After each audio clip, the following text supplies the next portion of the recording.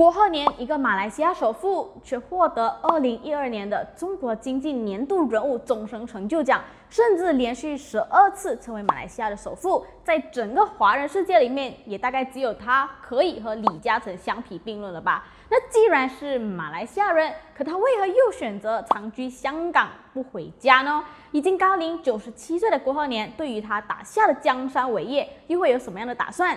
谁会继承这一个千亿帝国呢？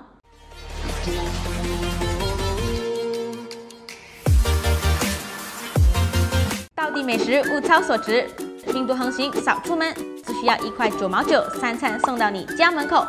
赶快下载 QuickSend Food Delivery APP 吧！一九二三年出生的郭鹤年，如今仍然健步如飞。出生于马来西亚新山的他呢，当年啊是以经营白糖业起家的，也有亚洲糖王之称。糖的产量哦，占据整个世界的百分之二十。另外，马来西亚的百分之四十五的面粉也是他生产的。那拼搏多年啊，他被福布斯列为马来西亚的首富，旗下资产最大的部分呢在香港，包括大量的香港豪宅、商场，还有酒店，香格里拉酒店集团等等等等。那么，为何国和年既还是马来西亚人，却还是长期居住在香港呢？同时，国和年也是非常积极的开阔中国大陆的市场。你可能不知道的是啊，它可曾砸过巨资来投资中国的国贸。现在的国和年可以说是北京最大的包租公，因为整个北京国贸商圈一百一十万平方都是他的，而且他的原则就是我只租不售。除了中国北京的国贸啊，著名的金龙油、食用油呢，还有整个马来西亚百分之四十五的航运行业都是他的。那他的一生呢，可谓是十分传奇的。即使身价过百亿，却还是仍然十分低调谦虚的人。他是一个以自己为华人为傲的富豪，哎，也经常。说做生意就是要讲诚信。那么问题就回到。一个马来西亚人为何会跑到香港定居呢？其实郭鹤年在他的自传里面呢是有提到过，他选择长居香港呢，是因为在七十年代啊，马来西亚还有新加坡的税收过高，所以他就决定把旗下的生意都移往香港。他当时候呢，在建立现金储备方面呢，由于税收很高啊，遇到了很大的阻碍，所以比起马新这两国那时候辉煌的香港呢，反而是一个可以让公司还有业务充分发挥的一个大地方。一开始呢，他是选择。每个月在香港度过一个星期，可是慢慢的就变成两个星期，再直到一九七九年啊，他就干脆正式移居香港了。他当时还以一千万港币创立了嘉里控股有限公司。多年以后呢，他香港的集团业务啊，已经成为马来西亚还有新加坡以外规模最大的一个了。那嘉里控股有限公司在创立之后呢，就专注于印尼供应糖还有大米。而他在香港的第一笔重大投资呢，是在一九七七年。当年的他呢，在九龙购置了一块土地，并且新建了九龙香格里拉大酒店。在四十多年以后的今天啊，香格里拉已经成为酒店业的品牌标志。那么，尽管常年在香港生活，郭鹤年却仍然坚决不放弃马来西亚的国籍。而他的孩子们啊，虽然还是一样拿着香香港的居留证，可是都保留大马国籍哦。而他的侄子郭孔峰呢，则是获得了中国的永久居留证，在中国管理嘉里集团。虽然郭鹤年啊，他人总是在香港，可是他总是非常关心马来西亚的事情的。有几次的访问当中啊，就提到过他对马来西亚的发展非常有信心。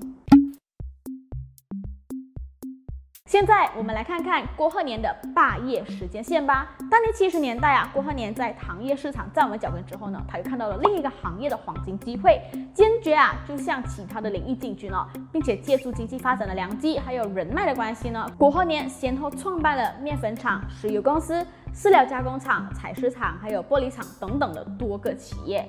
后来，他在香港成立了万通贸易公司，将食堂销往中国还有东南亚市场。七十年代时，他就投入了一亿马币，在新加坡创建了首家豪华酒店，取名为香格里拉，也就是世外桃源的意思。想不到啊，这一家定位于高级酒店的香格里拉，又是一战成名。过后，郭鹤年便在世界各地全面进军酒店业务，也因为这样有了酒店大王的称号。在一九七四年，郭氏兄弟旗下的嘉里集团呢，在中国成立了嘉里粮油中国有限公司，以知名石油品牌金龙鱼成功打开了中国的市场。而这个金龙鱼品牌更是在二零二零年上市了。这个石油品牌啊，实际上呢是郭鹤年还有他的侄子郭孔峰共同执掌的。那以马来西亚企业身份在中国市场打滚多年之后呢，最后啊为了本土化，就把公司注册成了中国公司上市，顺理成章的就成为了中国的品牌。另外，嘉里集团也斥资五亿美元在北京新建国贸中心，成为当时候外资在中国内地投资最大的项目。现在的郭鹤年啊，就已经成为了我们刚刚提到的北京包租公的称号，而且最牛。的，它还是 Coca-Cola 汽水品牌在中国市场的专利权拥有者。那除了亚洲糖王，还有酒店大王之外呢？其实郭鹤年实际上也还曾获封过传媒大亨这个称号的。因为在一九八八年啊，郭氏集团就以二十亿港元收购了香港电视有限公司的股权，成为了公司最大的股东哦。之后呢，他更是收购了香港影响力最大的英文报刊《南华早报》。我想世界上再也没有一个富豪能够像郭鹤年有这么多的称号了吧？有的话记得留言告诉我。话说回来，当年啊，在郭鹤年生意风生水起的时候，却受到了当时候的马来西亚政府穷追猛打。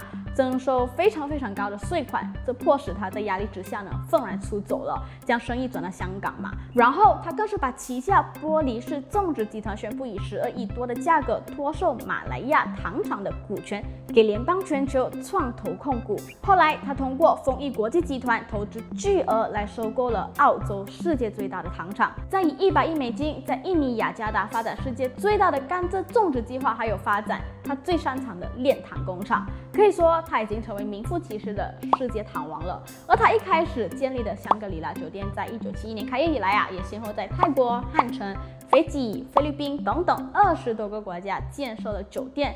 至今哦，总共有百多家的香格里拉酒店铺遍全世界。而更有趣的是呢，他即使会飞来飞去住自己的酒店啊，但是他从来都不会住呃总统式的套房，反而是住着普通的套房。所以人人都说啊，他是个非常随和、非常低调的人。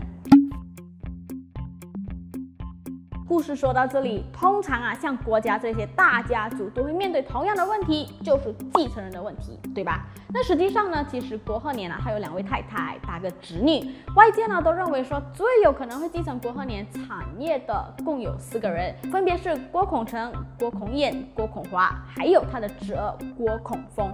而很多人都说啊，侄子郭孔峰这个益海嘉里集团的董事长，看起来更像是郭家下一代最有才干的人了。说到郭家长子。郭孔成今年已经七十三岁了。当时候呢，在墨尔本大学毕业之后，就被郭鹤年亲自带在身边历练。年纪轻轻的郭孔成啊，就已经开始可以独当一面了，也帮助父亲打理香港的嘉里集团。那一开始，很多人会知道郭孔成是因为他曾与邓丽君有一段情缘。八十年代的时候啊，邓丽君可以说是大明星哎。那私底下两人订婚了之后呢，却因为当年对艺人皮有意见的郭鹤年母亲提出了要邓丽君离开唱歌事业，这让邓丽君没有办法接受啊，所以。最后呢，这两个相爱的人没有办法走到最后了。然而后来呢？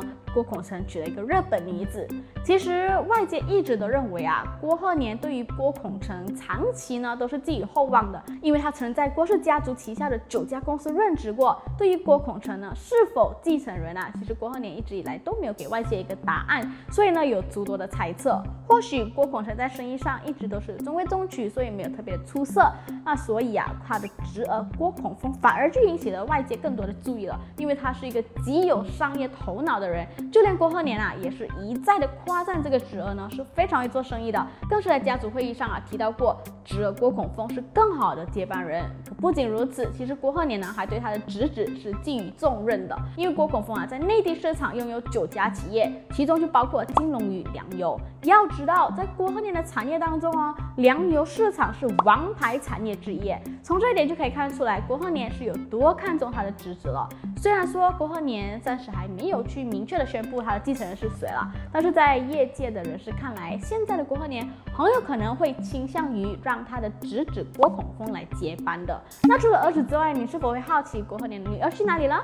那就和大家分享比较不熟悉的郭彦光，他是郭鹤年还有二太太生下的小女儿。美国斯坦福大学毕业的他呢，再回去香港之后，并没有像他的哥哥姐姐那样去帮忙家族的生意，反而是自己当起了企业家，创业了，还开了一家二手名牌网售公司。刚创业的时候呢，他都是亲力亲为的，甚至呢自己付租金，从父亲手里的店啊租来当办公室，就这样一步一步的把网店转成实体店。现在的他呢，对自己的事业可以说有很多的目标啦，希望把二手店呢。能够把业务扩展到全亚洲，只能说他们全家人都非常有生意头脑吧。那好吧，这一集呢就主要是解答了这些网友的问题，就是为什么郭鹤年选择移居海外，而他的家族又到底还是不是马来西亚人的这个问题。即使啊他不在马来西亚，但他还是非常注重国家的栋梁培育的，因为他的郭氏基金奖学金呢培养了无数的人才。也不知道我们的观众里面有没有这个奖学金的受惠者呢？如果有的话，就在下面告诉我吧。那话说回来啊，关于郭鹤年在马来西亚被前朝政府恶意收购，还有面包之战呢？我其实曾经专门做过一支视频来解析的，如果有兴趣的话，记得要去看我的下一支影片，OK？如果你喜欢我的影片，记得按赞、留言、分享，还有不要忘记按按钮以及小铃铛哦！红福利频道，一起和你从生活中学习，拜拜！啊，哇，哈哈，